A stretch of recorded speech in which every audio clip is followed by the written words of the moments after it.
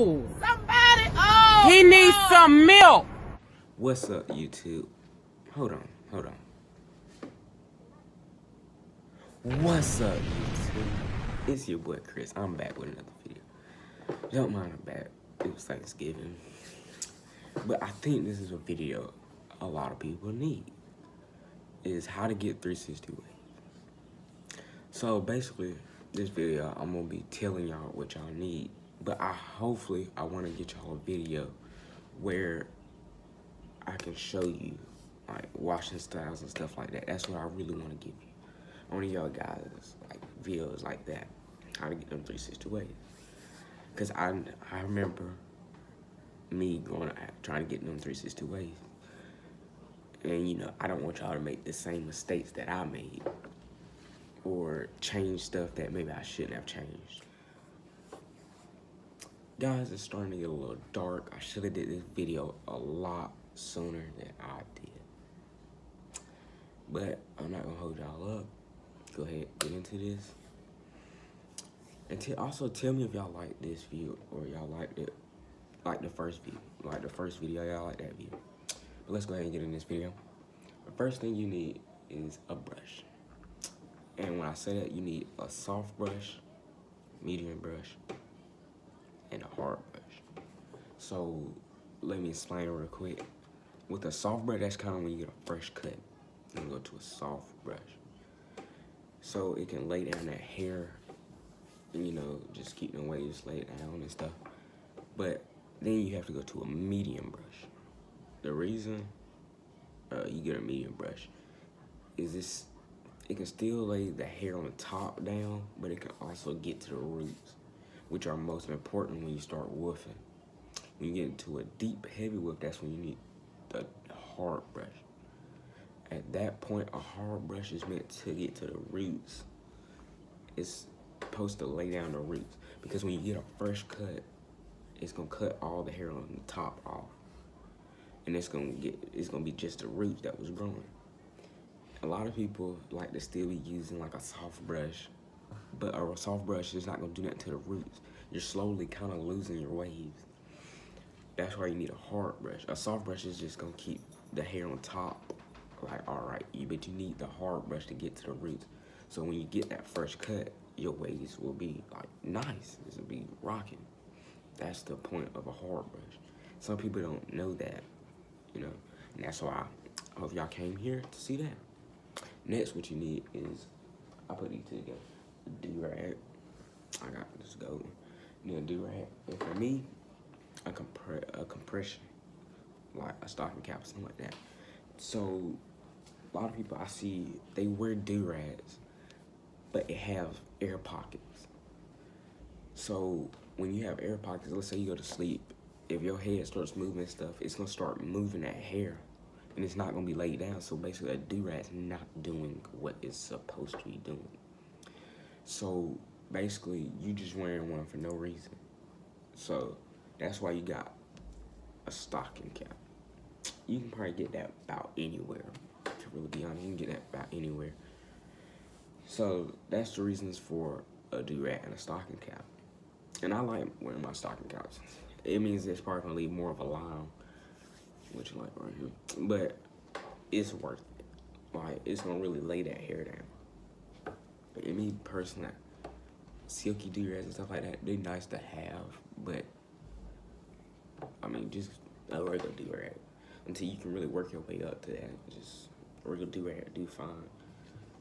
Also, I'm at it, I can't stand to see people wear nice do-rags with ugly waves. Like, somebody help me. Like, you should probably want to start off with a, just a regular do-rag. So nobody sit here and like, wave check, wave check. You take off that do-rag, it's over. You just gonna have everybody hopes up. But I mean, that's me personally. As a waver, that's how I feel about it. Y'all drop in y'all comments how y'all feel about that, but me personally, I hate it. Next, what I use a lot is a comb. Two combs. This is a big comb. Look. I think this is just my advice. A big comb, it kind of grazes the hair off the scalp a little bit more. So most time, like I'm in a deep wolf right now, I use this to kind of get the hair off, and then this kind of like get them forks and separate so I can brush it back down. You know, like just you can probably get these almost anywhere probably at a beauty salon or something like that. But that's my But I like combing my hair. It's something I stopped when I started getting better, and I'm back with it. But don't ever change the combing. The combing is actually very useful when you get into like a hard, like in a hard wolf, like a deep wolf. Combing is gonna be probably more important than almost anything. So you really do want to comb your hair to knock out the force. Oof. But I mean, combing is very important. Next, I use this. See, I'm in high school, so like during the beginning of the year, cause I'm in drumline, I didn't get to use. I sweat a lot, so I just never put that on.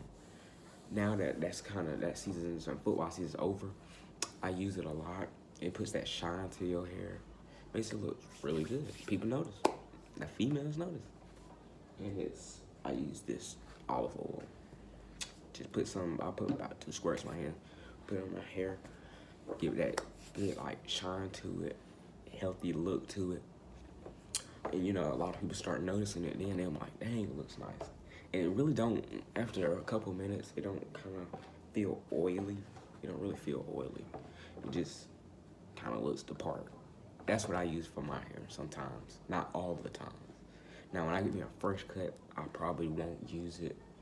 Like, I wouldn't use it. Maybe when I start getting to a medium brush, like early hard, I mean, early like wolf, I might start putting that on. But most times I don't put that on. Just because after a fresh cut, and if you handle it really well, it don't, it kind of have its own shine y'all be straight. Have its own shine.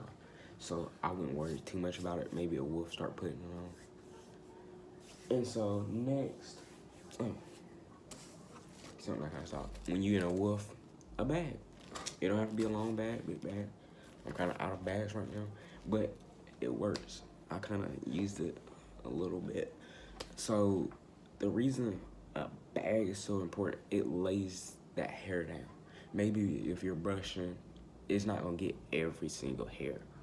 But with that, you can kind of get most of the hairs that maybe you don't get with the brush. That's why it's very important, in my opinion, to use that brush in a wolf.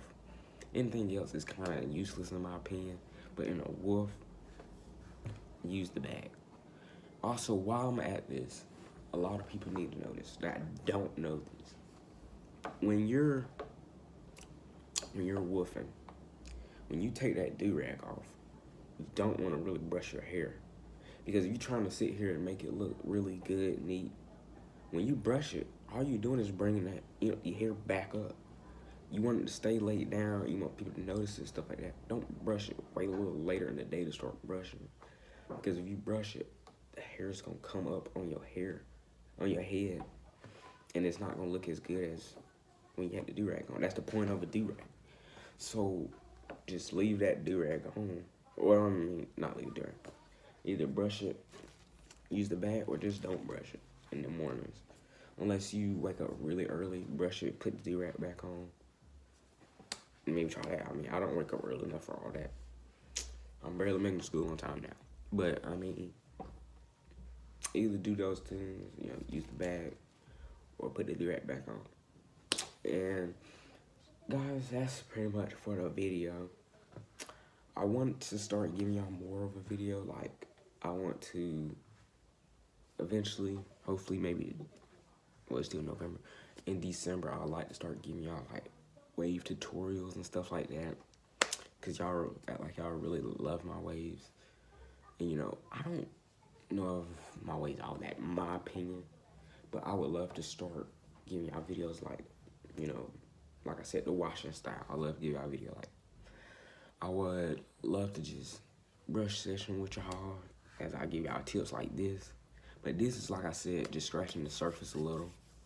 Like I said, it probably looks dark, but honestly, it's because I should have found this video earlier. I started watching the movie. And so now it's starting to get dark. But, you know, this is pretty much the video. I want y'all to like, comment, subscribe. Comment what y'all want down below.